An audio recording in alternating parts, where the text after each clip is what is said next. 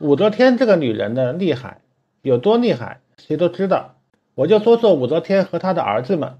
大儿子李弘二十三岁就病死了，有的说呢是自杀，有的说呢是武则天赐死。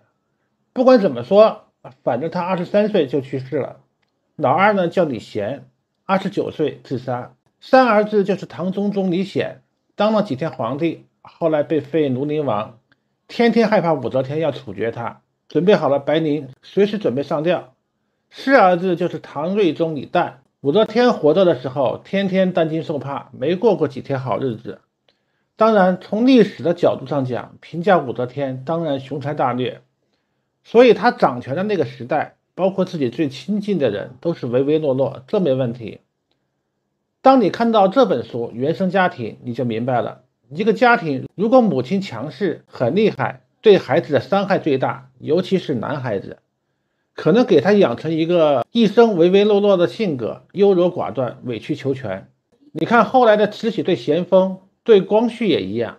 所以说，武则天的几个儿子的性格，不是因为武则天的权力太大，而是武则天性格太厉害。